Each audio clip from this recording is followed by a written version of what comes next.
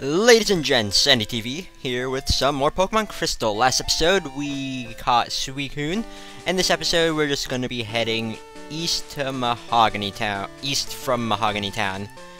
So yeah, that's a thing.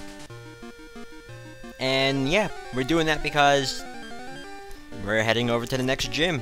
We're to be getting our 8th badge in a little bit, but not in this episode or in the next episode. It's gonna be a while, but we are heading towards where the 8th badge is. And let's just keep on going. And also there's something kind of new at Mahogany Town, so yeah. Oh, hello wild Pokemon. Do do do do do do. Okay, another Goldeen. Not even a Seaking. Actually, at the time of recording this, Pokemon Omega Ruby and Alpha Sapphire were announced. So yeah, I mean, recording the commentary because the footage for this was recorded a couple days ago, actually. But uh, yeah, that's a thing. And yeah, remember where the uh, Rocket Hideout was? Well, there's an actual shop there. There's not really that many interesting things here. I mean, Rage Candy Bars are things, but I'm not going to be getting any. I'm I'm just gonna pick up a few super potions and whatnot, but yeah. Mm, Omega Ruby and Alpha Sapphire things now. Coming out this November, November 2014 worldwide, so we have another worldwide launch. That's pretty cool. And you know what? I'm just gonna be uh, showing off the fact that I have the three legendary beasts here. My opinions on these new games, I don't I don't think they're gonna be remakes, but more like sequels, kind of like Black 2 and White 2. But that's just me. Anyways, onwards to Route 44. There's quite a few new Pokemon actually. First off, there's Remoraid, which you can be it can be found through Goodrod or in a random swarm.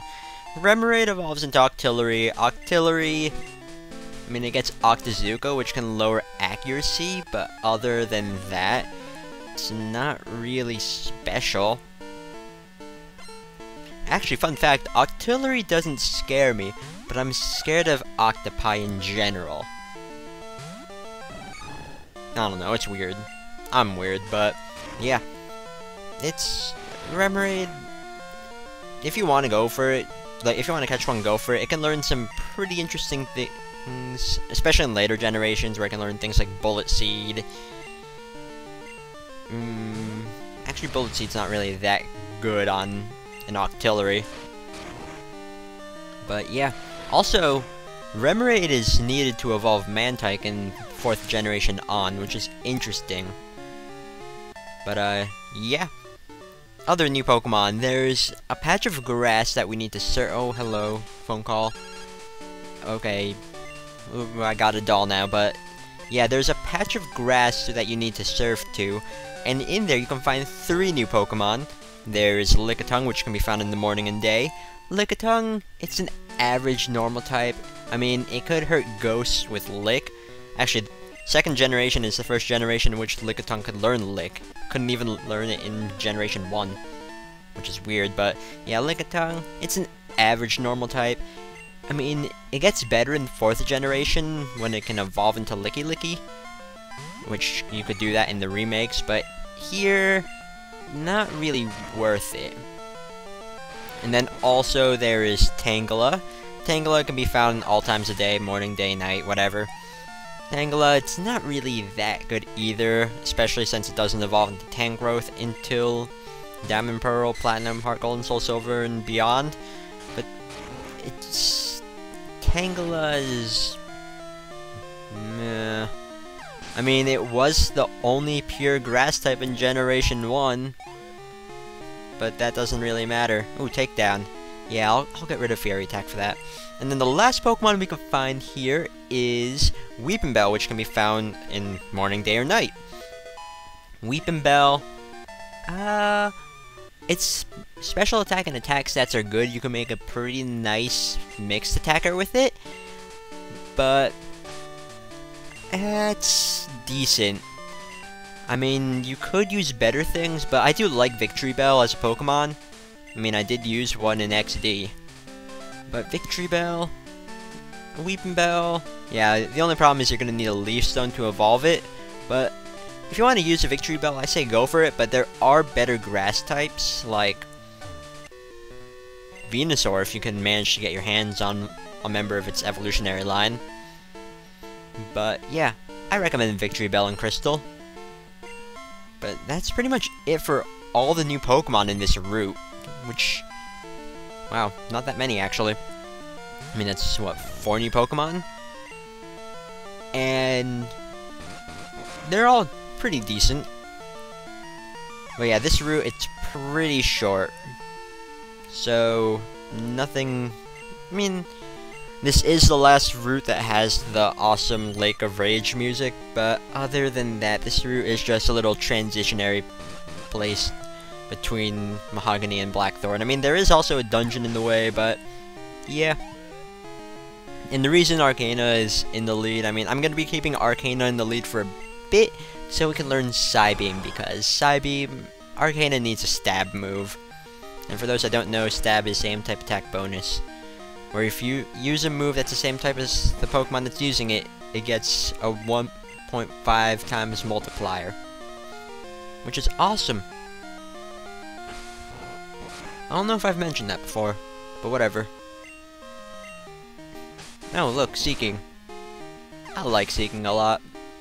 Mainly because of the whole meme that spawned from Seaking years ago, but Seaking is actually pretty cool.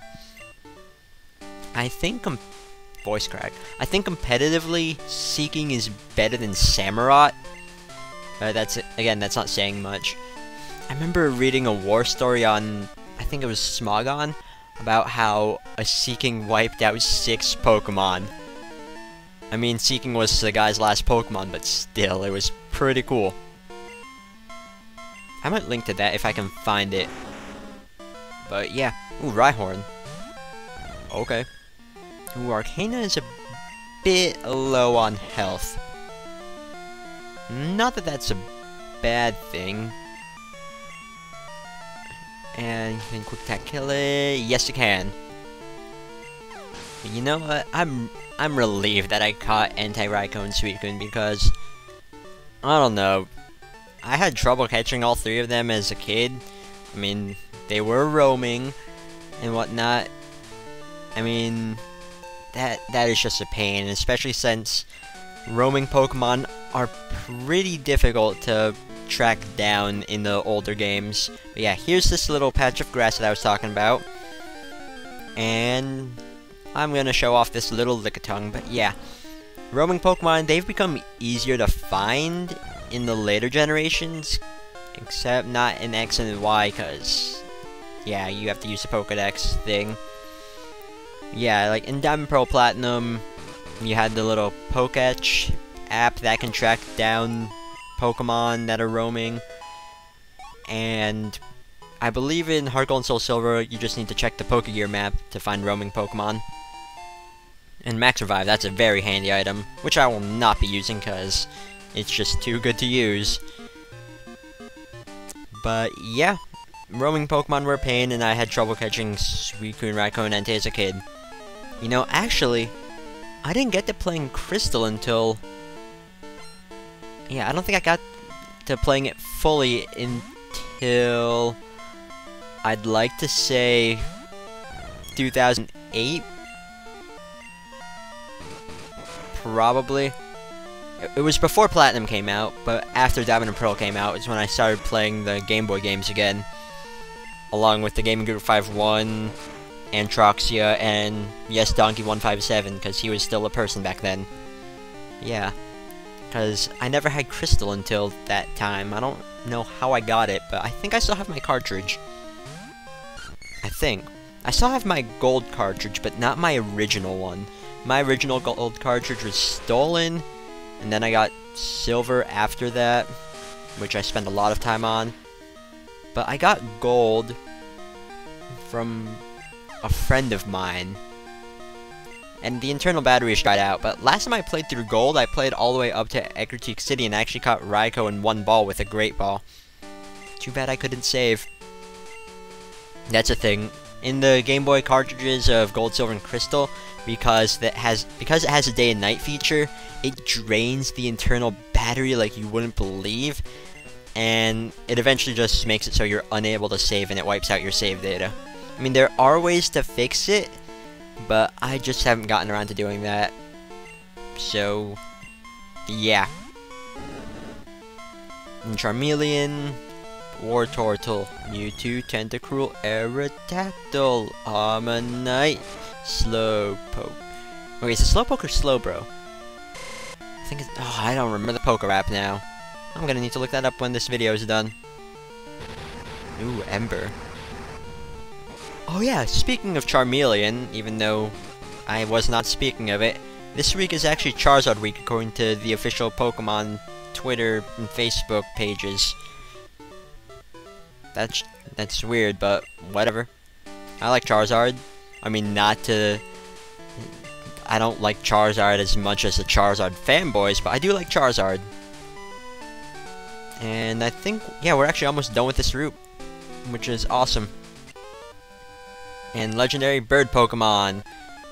There's Articuno, Zapdos, and Moltres. I think that's what this guy talks about as well. But there are other legendary birds, like the two mascots of Gold and Silver. I mean, we know one of them, Ho-Oh. We, the other one has not been mentioned in this game so far.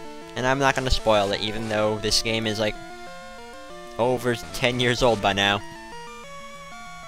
What's another... What's another Pokemon out there? That, what's a legendary thing that's also a bird? There's Yveltal in X and Y. Um... Mm, Sky Forme Shaymin doesn't really count. Tornadus, Thundurus, and Landorus don't really count because they're not birds, they're more weird things.